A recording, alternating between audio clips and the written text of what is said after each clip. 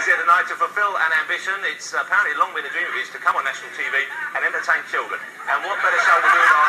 Ladies and gentlemen, here he is, Mr. Christopher Walken.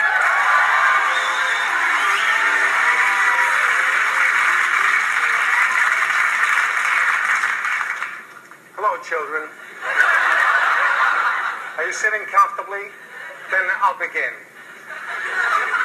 Once upon a time, there were three little pigs, and they each decided to build themselves a house. Now, the first little piggy was a very lazy little piggy, and he built his house from straw. The second little piggy was not too bright either, and he built his house from twigs. But the third little piggy was smart. He was no Dunsky. He built his house from bricks. Smart piggy. Oink, oink.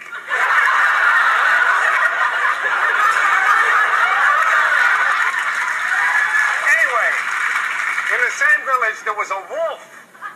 Big wolf. Bad wolf. Big bad wolf. In the picture, also this wolf, he loved pork. Pork sandwiches, pork pies, pork scratchings, bacon buddies. With that pig in it, he loved it. Now Wolfie sees the three little houses with the three little pigs in them, and he thinks to himself, Pork City.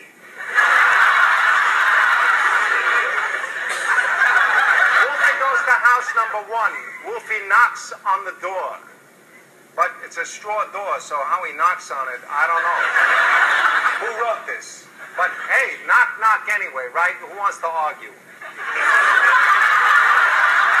his most polite voice, Wolfie says, Little piggy, little piggy, little piggy, little piggy, me come in. No! Little pig who knows a wolf when he sees one. Not by the hair on my chinny chin chin. So now the pig has a chin. What do I So, let me in, says the wolf. For I'll huff and I'll puff and I'll blow your house down. Says the pig. No, no, no. But Wolfie is a wolf of his word, so he huffs and he puffs and he blows that house away. Exit pig one.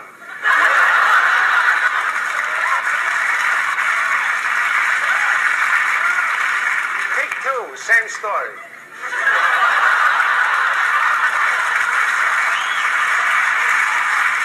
I'll huff and I'll puff and I'll blow your house down. Arrivederci porco numero due. Buongiorno salami. I like this wolf. He's not freezing his ass off hunting snow bunnies. Alaska.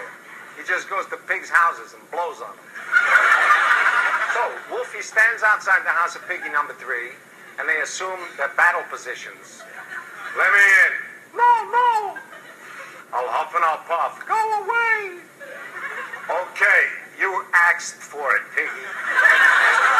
Wolfie is huffing, huff, huff, and Wolfie is puffing, puff, puff, poof, bada boom. Nothing. This is a brick house. They do not blow over so easy. So, Wolfie gets himself a ladder, climbs up onto the roof. Piggy sees him climb onto the roof. Wolfie makes for the chimney. Piggy lights a fire in the grate. Wolfie goes down the chimney. He burns. Burns. Wolfie burns, and Piggy lives. Happily ever after.